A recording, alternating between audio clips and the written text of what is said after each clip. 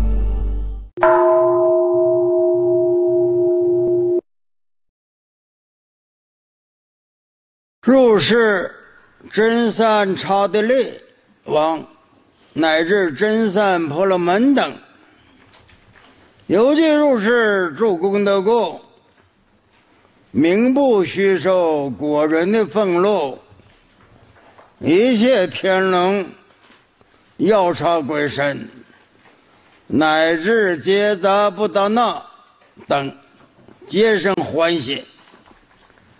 慈悲拥护一切法器，真实福田，一生欢喜，慈悲护念。嗯，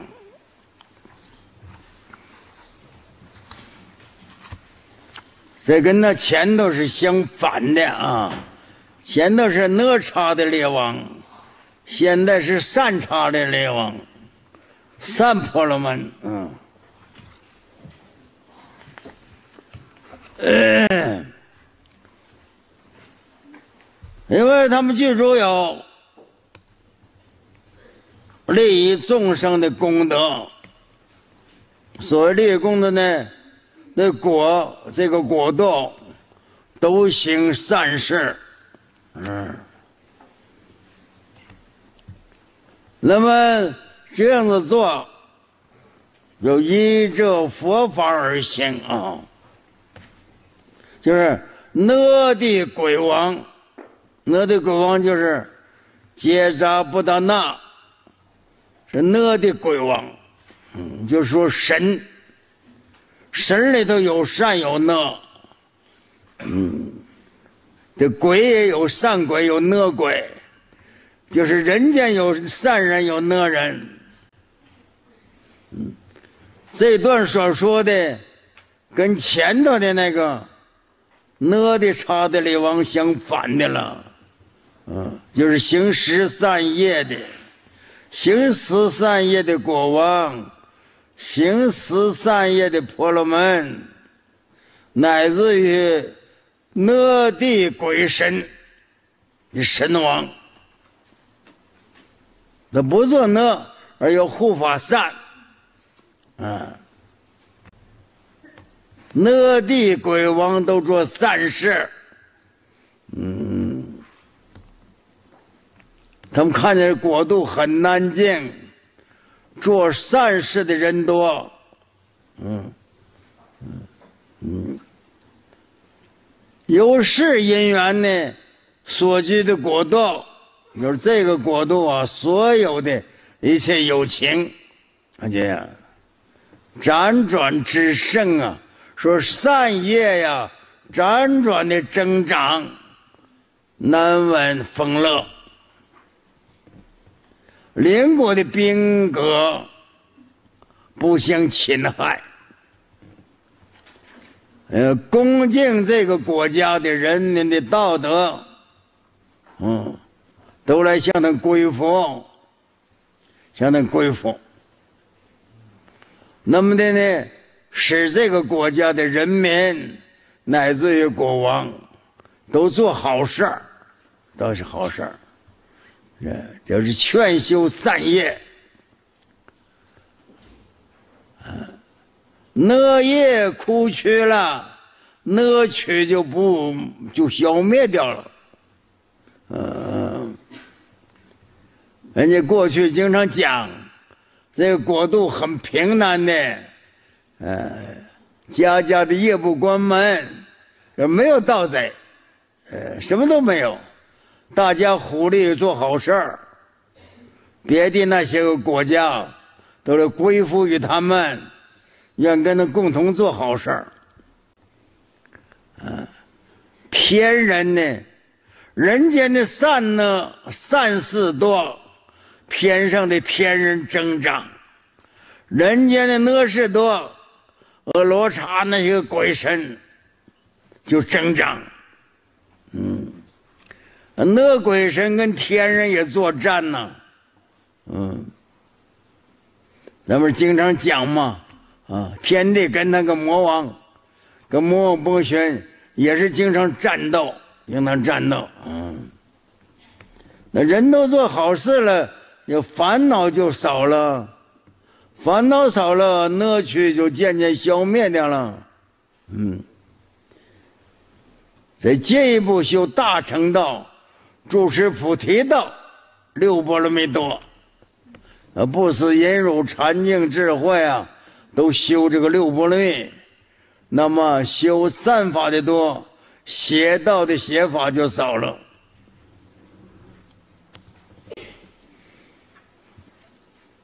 这样子呢，就可以长时离开恶友，在生死苦轮当中，能够不被淹没，不被沉没。呃，常亲善友，那遇见诸善之事，遇见诸佛菩萨，恭敬诚挚，诚无占废。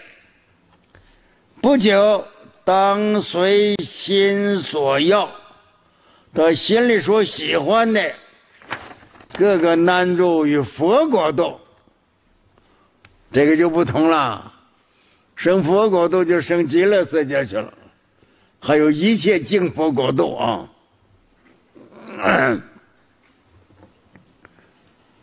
正德无上，正等菩提，因为善事做多，啊，能够升净佛国度去。这一段经上所说的就是，说这个国家人民生活非常愉快。国家很安定，嗯，邻国呢也不想侵害了，都恭敬这个国家。嗯，这国事啊很强大，国势很强大啊，国势强大了，外敌不侵了，国家就富强了，富强人民就安居乐业了。嗯嗯嗯，而时种种一切天地。记入眷属，乃至一切必舍者地，记入眷属。嗯，从坐而起，礼佛珠，合掌恭敬，而拜佛言：“大德世尊呐！因为来自后五百岁，于此国度，法运灭世。”要有真善差的力王，乃至真善婆罗门，有十那轮，只能远离。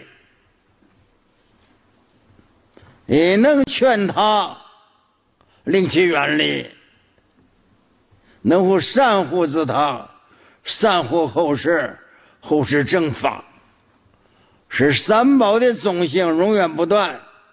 接令之事无有断绝，这完全说是好的啊，跟全的那个是相反的。嗯嗯，就在这个时间尔时啊，就是在这个法会的当中，这个法会是地藏菩萨请佛说，嗯，佛说在未来的末法的时间。嗯，也有好的时候，也有好的时候啊。好的时候嘛，就是善业行善，善业行善。必舍者，必舍者，就是就是吸血鬼，在鬼类当中啊，必舍者就是吸血鬼，专食人间的血的，乃是畜生的血的，啊。那么这个毕舍者是国王，吸血国王，跟他们的剑术，他带的都是吸血鬼。凡是说这些个大鬼王来行善业的，那个鬼王绝不是鬼。都是菩萨化现的，他度那一道的。吸血鬼怎么能有十三夜升起呢？就是声明了，这是菩萨是现在一闹那个道那一类，这是菩萨化现的。凡是看佛经里面说的那恶鬼、恶鬼神的王，一定是菩萨化现，不而不言呢，他进入不了这种佛所说法的法会。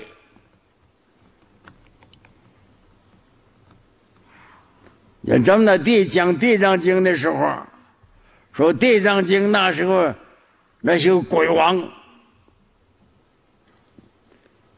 那些鬼王怎么能到玉皇大帝那宫殿去啊？那都是不是化现的啊？明白？而且是他所说的。他说这个国度的佛要灭，法要灭的时候，什么时候呢？灭法一万年，最后那五百年。人还没进入，咱是末法一万年的前头五百年。他说这一万年最后的五百年，佛法全要灭了。说这个国度啊，佛法要灭了。在法要灭的时候，还有这个差的了王能行善业的，而真善差的了王。乃至于真善婆罗门，嗯，与十那轮。前头所讲的十种那轮啊，都能远离，嗯，能够劝一些国内的人民都要远离，远离什么呢？十那轮，让善业增盛。让善业增盛，那么再说这个末法一万年呢，时间很短，在经上都讲劫，讲劫，那就时间很长，嗯，末法一万年之后，以后就是没佛法了。这个中间呢，一直等到弥勒佛降生，这个时间就是正式的恶法的时代，不是善法的时代。说在最后那个五百岁中，佛法都要灭了，还能有这些个好的国王、好的婆罗门。来度化众生的时候，那个时候的都是那些个菩萨化现，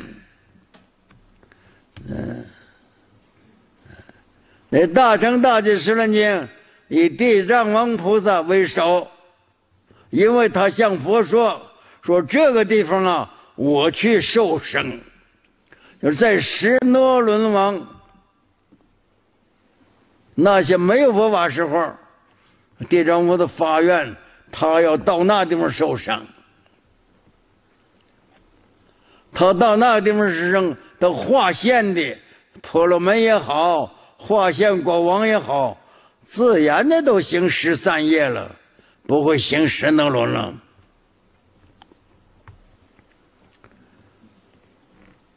要言之，如佛所说，如是等人呢？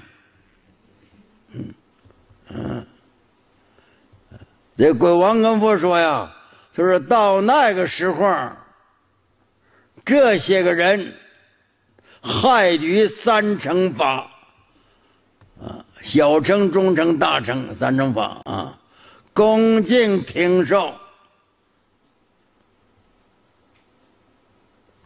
终不隐藏，这个隐藏的含义呢，就是使这个十散法增长，不隐藏三法，哪法不能够把三法隐藏。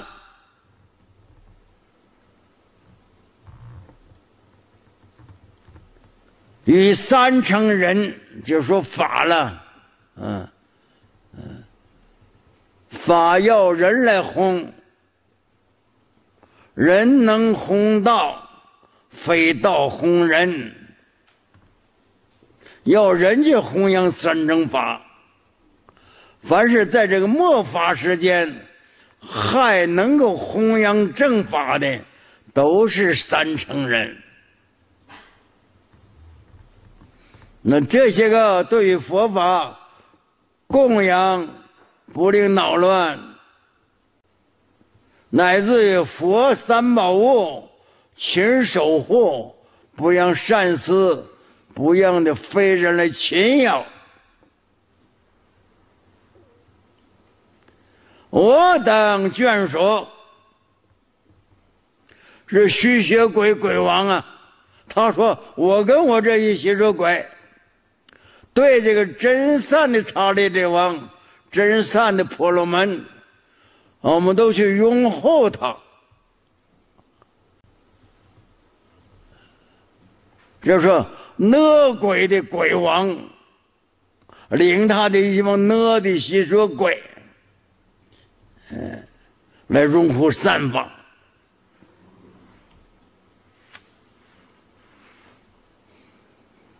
所以这些个在末法的当中。恶鬼神拥护善法，那都是菩萨化现的。在经典经常说护法散神，这一个护法散神都是受过三规五戒的。当我们传三规五戒的时候，有些个神。有些个鬼掺杂其中来受三规五戒的，也有这里的善神化现人身，嗯，这类很多很多，不是咱们肉眼所能见到的。说，咱们用五戒说吧，你持五戒，持一戒，就五个护法神护死你。那你五戒都能清净，五五二十五个护法神。说你破一戒，少了五个护法神，五戒都犯了，一个护法神都没有了。说要持清净戒，你一破戒，善神没有了，恶神可就来了。那你不如意的事儿，什么都发生了，什么都发疯了。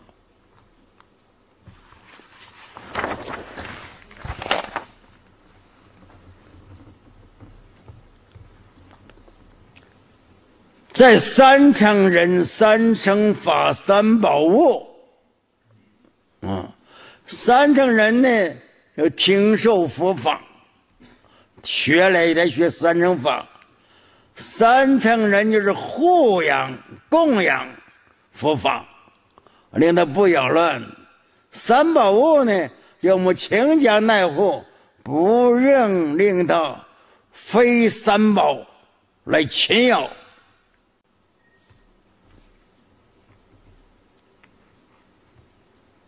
要是这样的来护持的善法增长，嗯，就十善业道啊增长，嗯，有善神多，嗯，恶神少，嗯，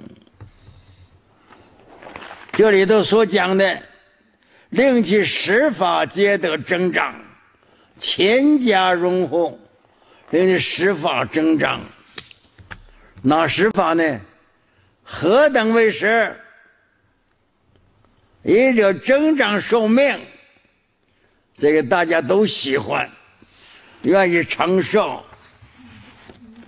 嗯，怎么样长寿呢？那护持三宝，恭敬三宝，恭敬三乘法，恭敬三乘啊人，佛菩萨声闻。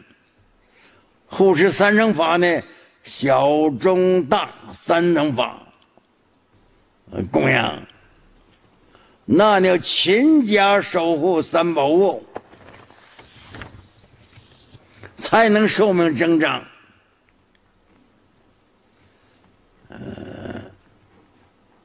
这寿命增长不是哪个人啊，全体的，整个这个国度人。寿命都增长，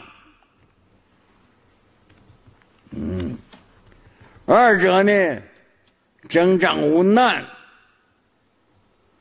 凡是那个地方，地水火风，地里没有地震，没有风灾，没有火灾，没有水灾，什么难都没有。要想寿命长，不要还生病啊！增长无病，增长眷属。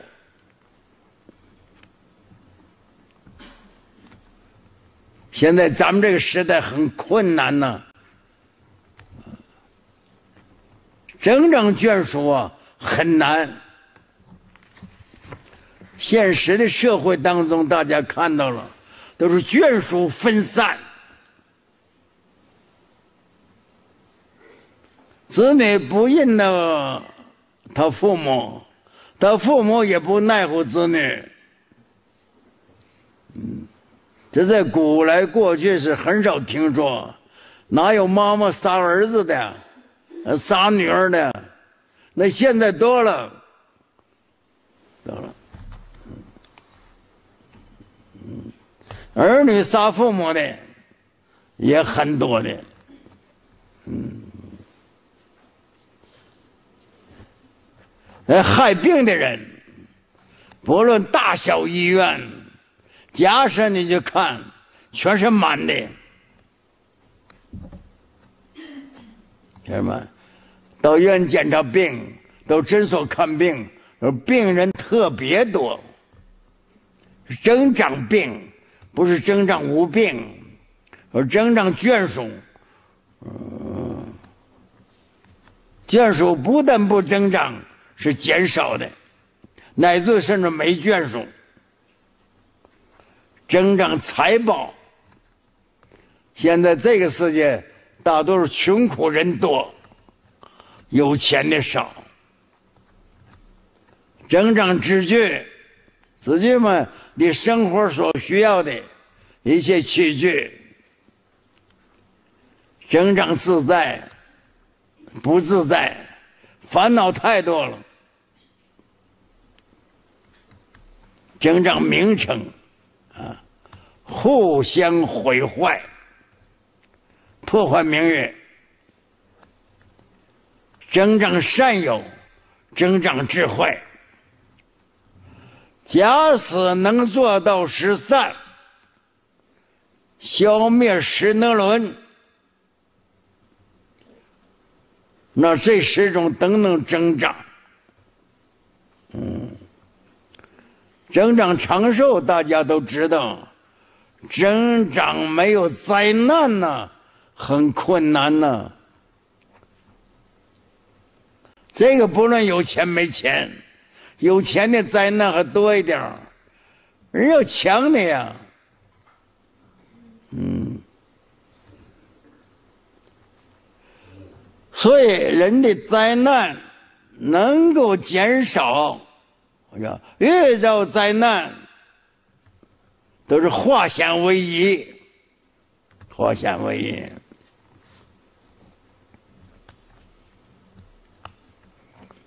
但是三宝，真正的三宝啊，不是那些个前头所学那些个。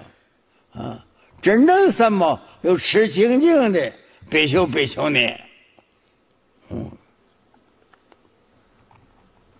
乃至读诵大乘的，经持境界，读诵大乘，善护佛法，嗯，对三宝恭敬的，这个才能没有难呐。明明是难，到他那就没有了。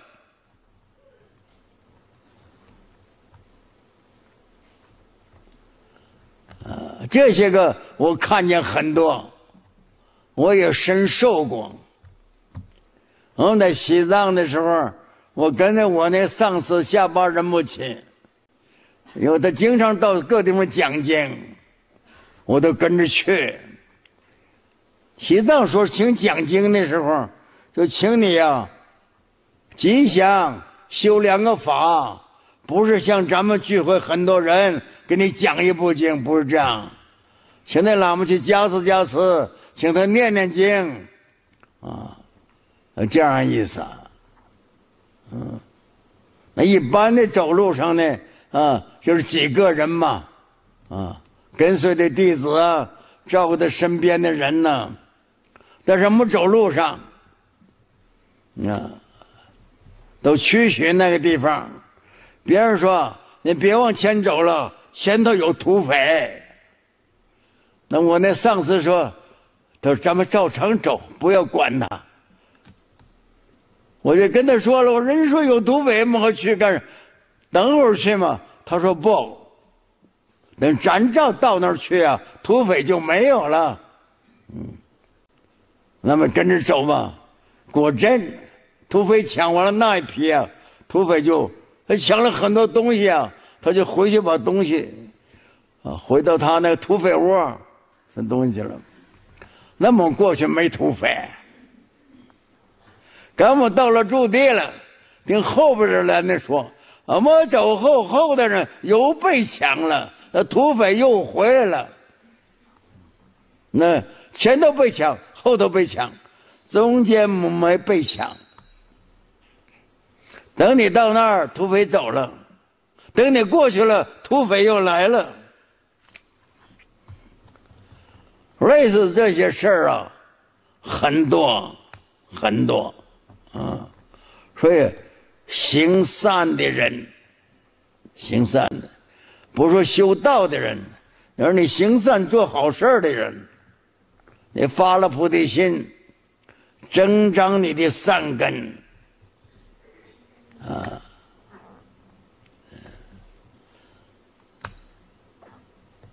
这个大家都晓得。呃，现在说长寿，一般的人说求长寿。要是那个没有苦难的人，长寿还很好啊，还享受嘛。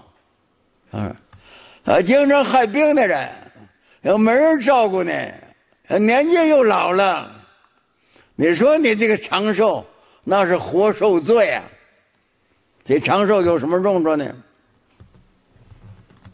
说你的寿命长，什么灾难都没有，没病，没痛苦。说长寿是好事啊！如果有灾难、有贫苦，那受罪啊！过去人说：“人活七十古来稀。”从古来呀，活到七十岁呀，很稀少，很稀少，是？人人都求长寿，啊啊。其次呢，增长眷属，增长眷属，你自己很吉祥，你是很吉祥，跟着你人都给你享受吉祥。如果你很痛苦，你眷属跟着你很痛苦，那眷属增长有什么意思呢？增长不起来了，啊，增长财宝，人人都要喜欢，嗯，啊，因为他能背叛五欲嘛，啊，增长财宝。人人都去求，人人都增长不了财宝，那要福德啊！咱们经常看见，咱们讲？善财童子、文殊师利菩萨、须菩提，他生下来就带着财宝来的。他一生下来，他家里那库房。不晓哪儿来的，也没偷也没抢啊，库房都满了，反正需要的支具都有。为什么叫散财呀？啊，须菩提也是啊，还有空生空，他生下来，他家里所有库房全空了，什么都没有了，空过去就满足了，比以前还多，嗯。文殊师利菩萨在印度化生。实现的，那真是妙吉祥。嗯，他家里头七宝完全都居住了。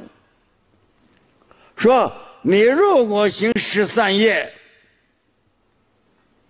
增长财宝，增长之具，增长自在，这个不容易了。你感觉是自自在在。换句话说，舒舒服服过一生。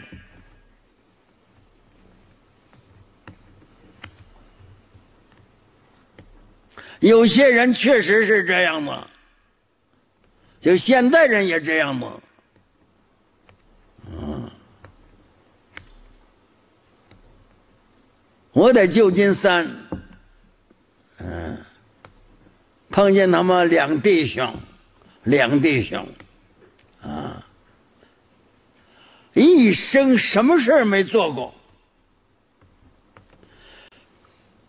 小孩时候玩念书不好好念，大人也就不管了，就不念。嗯，赶到中学了，请人帮他念，雇人给他念，拿到个文凭，乃至到大学。一直的到社会，从来没做过事儿。现在嘛，七十多岁了，七十多岁了，一生没做过事儿。家里非常有钱。嗯，大家可能老年人知道，啊啊啊！上海广东人行，后来到香港，啊。他就是两弟兄生到家里头，呀，一生没做过事儿，什么灾难都没有。我跟他们说：“我说你要信佛呀，要念佛呀。”他跟我笑一笑：“他师傅不用信佛了，我什么求都没有，我什么都不求。”他也不，他也不求佛了。嗯，他说：“我今生也没造什么业。”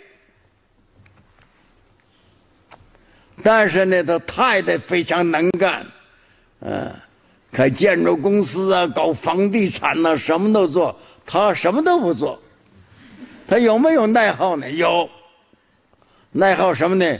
汽车，凡是出了个新牌汽车，不论多贵，他都要买。他的朋友亲戚啊，专门买他二手车，有新的了，他就不要他旧的了；有新的就不要旧的了。别的没有奈何。那个弟弟呢，更怪，更怪。晚上大家都睡了，他起来了，开部车到外头去转，可在美国可以了，到夜市了，嗯，东逛西逛，逛到快天亮了，他开车回家了，干啥都睡觉去了。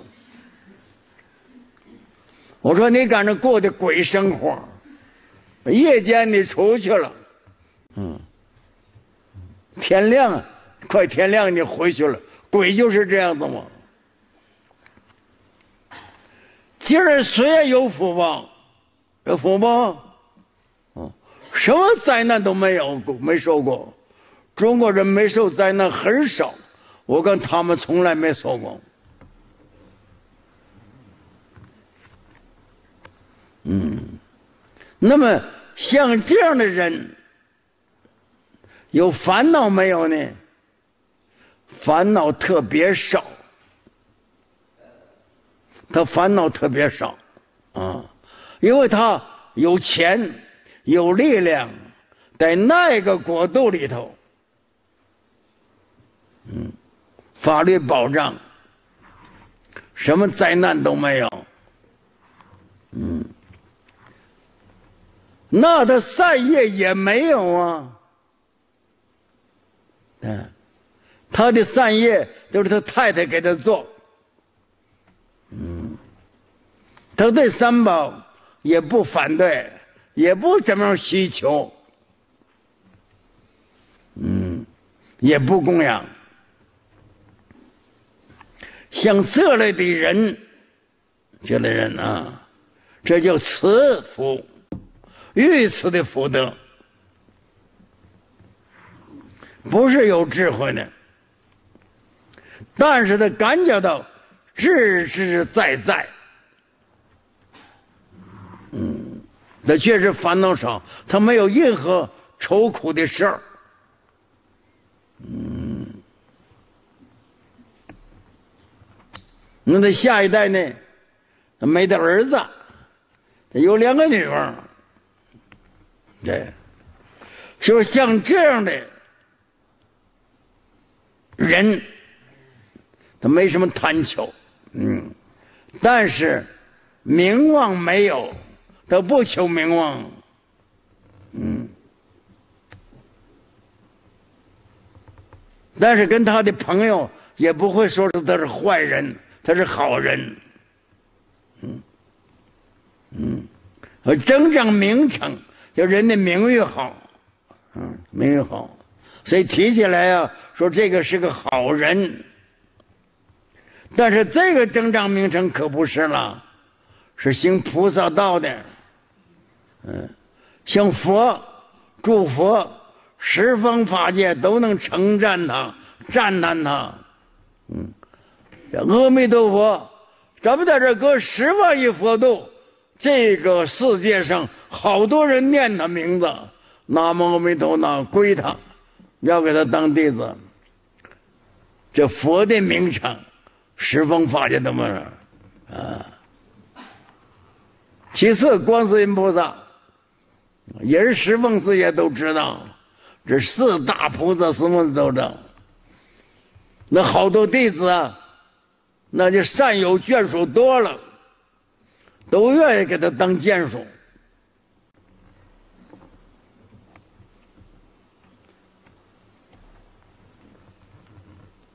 但是呢？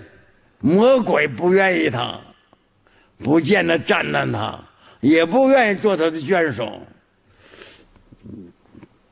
就是这样含义啊。大德世尊呐，要比真善刹帝利王，乃至真善婆罗门，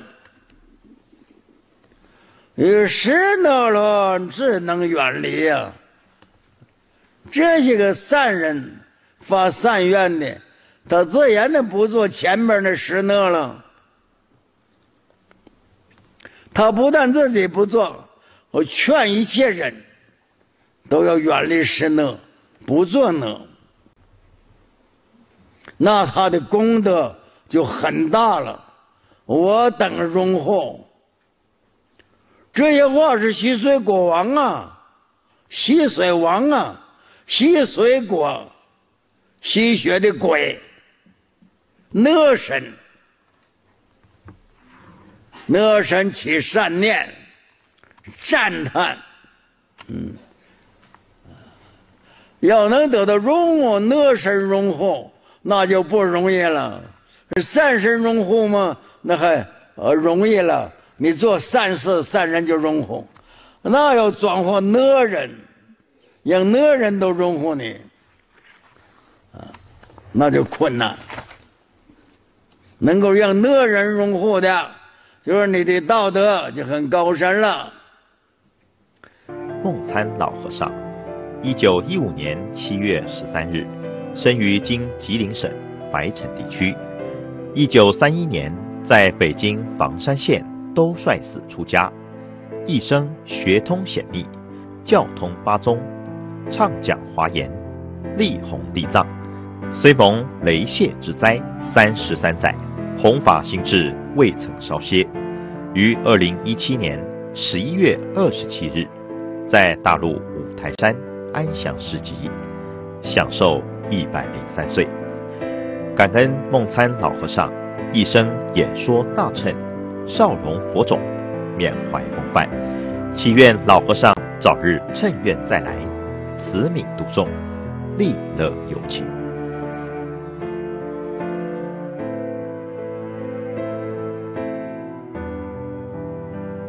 认识台湾救狗协会及救狗园区，基于众生平等、慈悲相待之理念。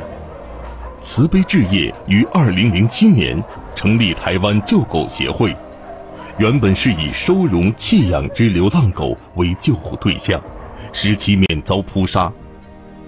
后因收养的流浪狗日益增多，进而成立专门照顾流浪狗的养护园区。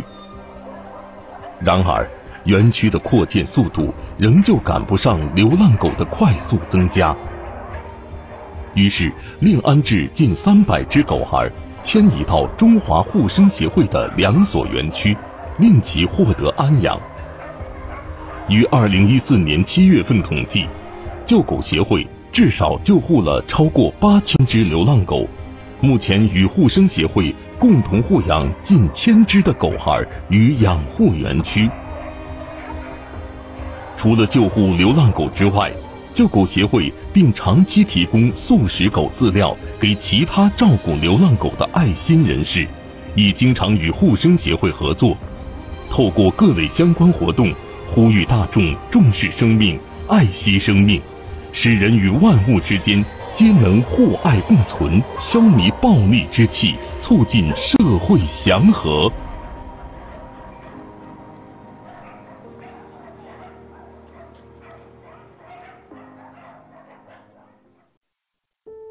冷冻活鱼的果报。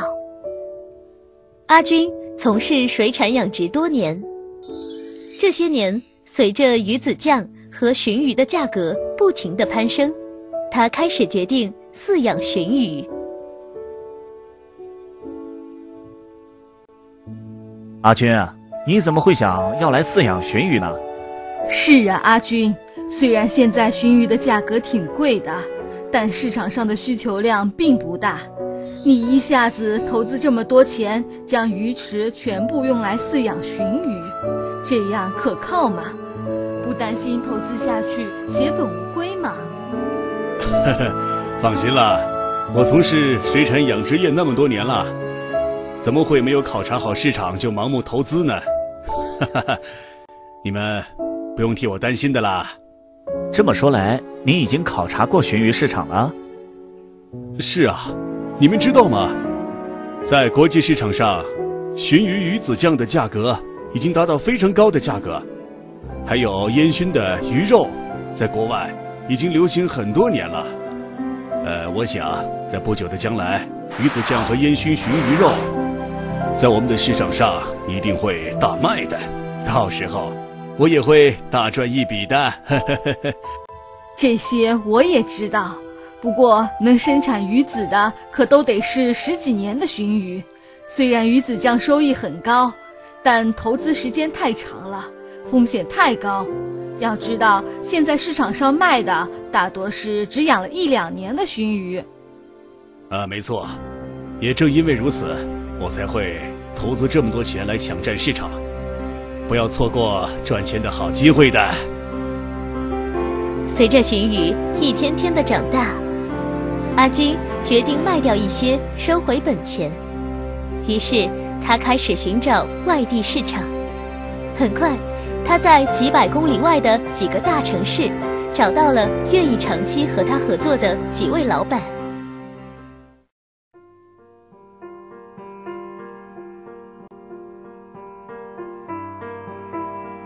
嗯，这鱼的味道可真不错呀，吃起来肉质鲜美又爽口的。嗯，这好像是鲟鱼啊，阿军，这鱼不会就是你养的吧？没错，这就是我养的鲟鱼，怎么样？味道还不错吧？味道真的非常棒呀，阿军，还是你的眼光长远呀。最近凭借这些鲟鱼，你赚了不少钱吧？是啊。味道这么好的鱼，销路一定很不错吧？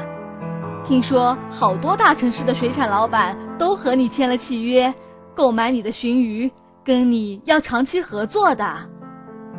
哎，别提了，别说赚钱了，能不赔钱我已经偷笑了。啊，这是怎么回事呢？难道这些鲟鱼没有销路吗？不应该呀，它的味道这么鲜美。在大城市的高级餐厅里，一定会很受欢迎的。是啊，阿军，我们都是好朋友了，没必要藏着不说的。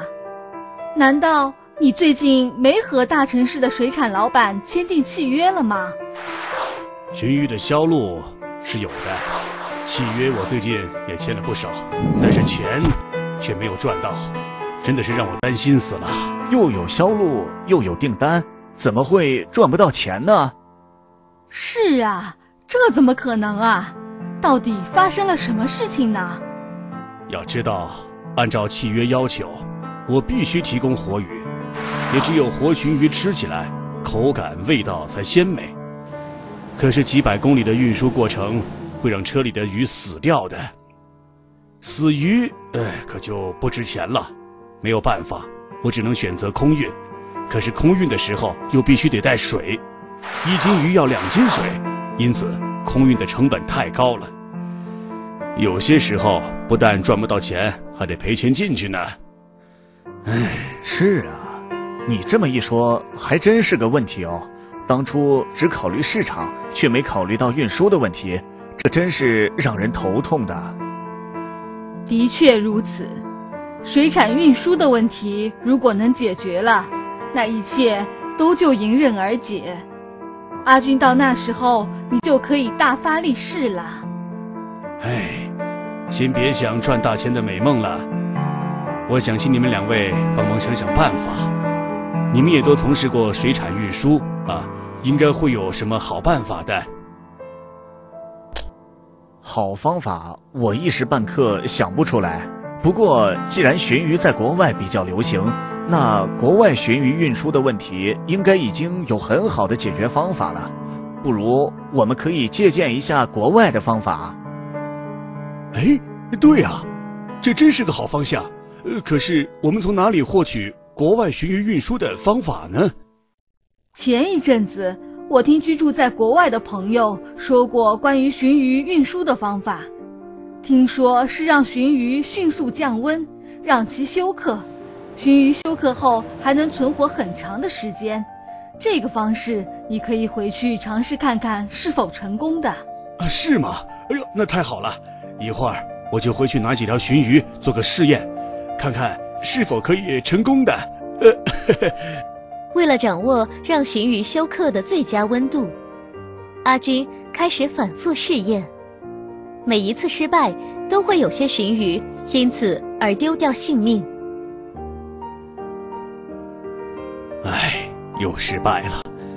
究竟要将温度控制到多少才合适呢？阿军，为了做实验，你已经冻死了几十条鱼了，这些鱼可值不少钱呢。死几十条鱼算什么呢？只要我掌握了冰冻活鲟鱼的最佳温度，那以后的收益可是会好几倍的增长。快过来帮我再捞几条鱼，我还要继续进行实验。妻子无奈，只好又捞出来几条鲟鱼。阿军将这些鲟鱼放进了一个冷柜里，然后将冷柜的温度调节到零上三度。冷柜里那几条鲟鱼受冷后挣扎了一会儿，便慢慢的一动不动。经过一次次的失败，阿军终于掌握了冰冻活鲟鱼的最佳温度。他让鲟鱼处在半休克状态，然后再运输到几百公里外的城市里。哎呀，阿军老板，你怎么亲自来了？这些运输的工作就交给员工做就好了，怎么自己还亲自来一趟呢？这样我会不好意思的。嘿 嘿，郑老板，你订了那么多鲟鱼，我当然要亲自给你送过来啊。哎，好久也没有跟你见面了，顺带来看看你这位老朋友的。这辆车里。不会运的是鲟鱼吧？哎，没错，这车里运的就是鲟鱼。啊，你怎么敢用这种车来运送鲟鱼啊？要知道，我需要的必须是活鱼，要是死了我可不要的。呃，你就放心好了，郑老板，鱼绝对是活的。哎，这是怎么回事啊？我要的是活鱼。你怎么给我运了一车冰冻的鱼呀？哎，郑老板，你不要着急嘛。麻烦你拿一桶水来。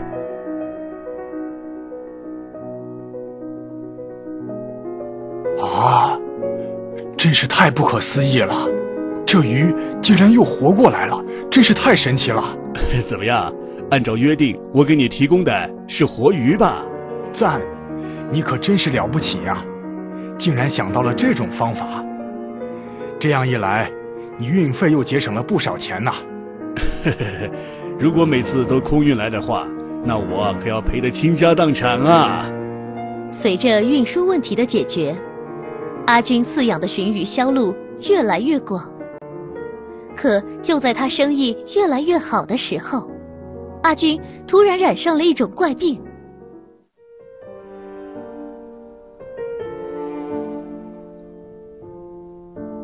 阿军，你还感到冷吗？是啊，我这究竟 是怎么回事啊？身体非常不舒服的，总是感觉浑身发冷。阿军，我们应该再去医院检查一下。你总这样莫名其妙的发冷，可太不正常了。现在的季节，你看看哪有人穿厚外套的？可是你就算穿着厚外套，也还感觉冷，这肯定有问题。医院。我们也去了不少，钱也花了非常多了，可是却一直诊断不出病因。老板，我明天不打算在这里工作了，我想要离职了。啊？呃，小松，你在我这里工作那么多年了，为什么突然要走啊？难道是嫌薪水低吗？小松，我们平日里对你不错啊，你怎么说走就走啊？老板，老板娘，我知道你们对我很好，而且老板给我的薪水也很高，但是，我不能再在这里做下去了。呃，既然你感觉我们对你很好，薪水又不差，为什么你要离职呢？难道你家里出什么事情了？如果是那样的话，你可以先回去处理家里的事情，忙完后再回来也是可以的，不要离职的。我家里没什么事的。哎，老板，这是杀生造业的工作，再做下去，我怕会遭报应的。啊？遭报应？是的，我认识了一位学佛的师兄，他和我说了很多关于因果报应的事情。老板，我每天将这些鱼进行冷冻，那就是在造业，时间久了，一定会遭到果报的。唉。既然你学佛了，那就不能做这种行业了。好吧，虽然我舍不得，但是既然你要离开，我也不挽留你了。希望你可以找到适合你的工作。老板，谢谢你啊！希望你也不要再继续做下去了，否则会很危险的，以后也会遭到因果报应的。哦，老婆，你说我怕冷的病，会不会就是因果病呢？你怎么也相信这些啊？这世上根本就没有什么因果报应，不要胡思乱想的。呃，其实我也不太相信什么因果报应，不过我这病也有些太奇怪了，一直都找不到真正的病因啊。过几天我们去医院做一次更深入的检查吧。只要找到了病因，那一切就都会好起来的。嗯。然而，医院依旧检查不出阿军究竟得了什么病，而阿军的病情也更加严重了。即便是六月天，也要穿上棉袄，而且脸色苍白，浑身软软的，一点力气都没有。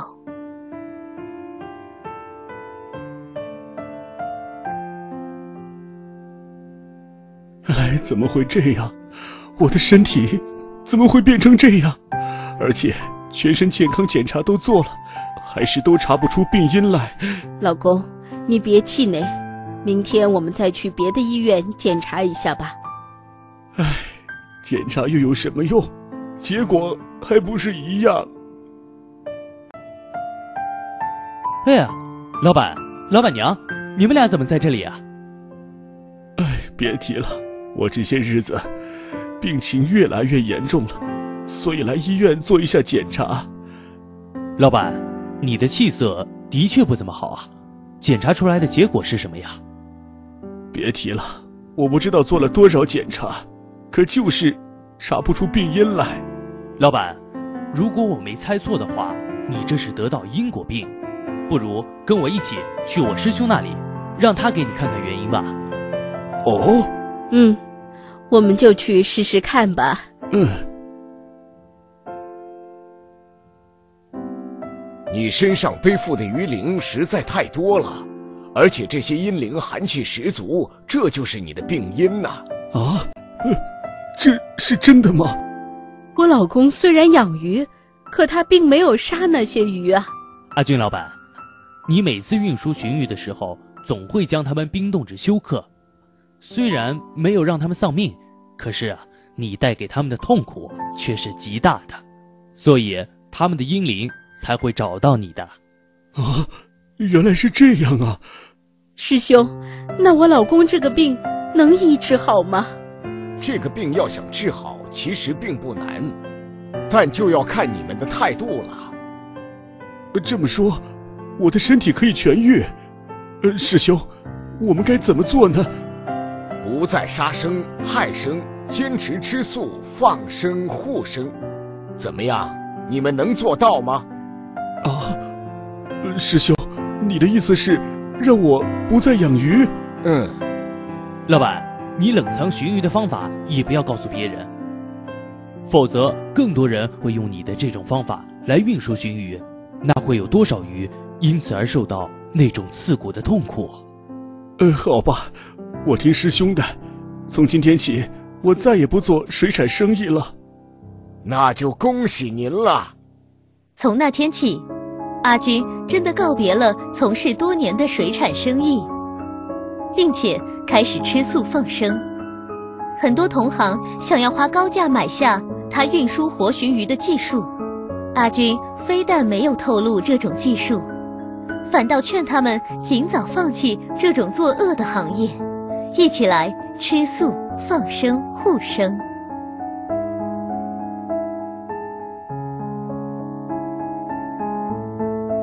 老板，你的气色真是越来越好了。小松，我已经不是什么老板了，以后也不要叫我老板了。你说的没错，杀生作恶的事情不能做。自从我卖掉鱼池，开始放生、护生、念佛之后。我的身体真的竟然慢慢好了起来，真是太不可思议了。哼，这就是因果的力量，善恶有报，谁也逃避不了的。